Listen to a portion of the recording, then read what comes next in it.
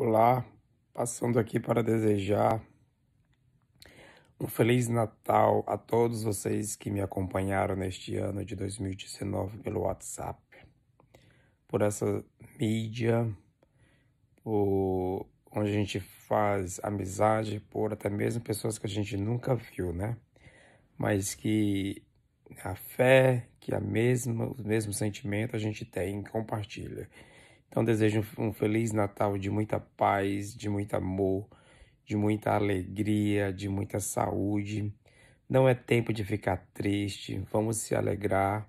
Se não conseguiu coisas, se não conseguiu realização de seus sonhos, temos aí um outro ano 2020 cheio de oportunidade para conquistar outros sonhos. Se alguém feriu você, não fique triste, pelo contrário, Apresente esse fato, esse evento a Deus. Não guarde mágoa no seu coração. Não fique triste com picuinhas. Não faça confusões.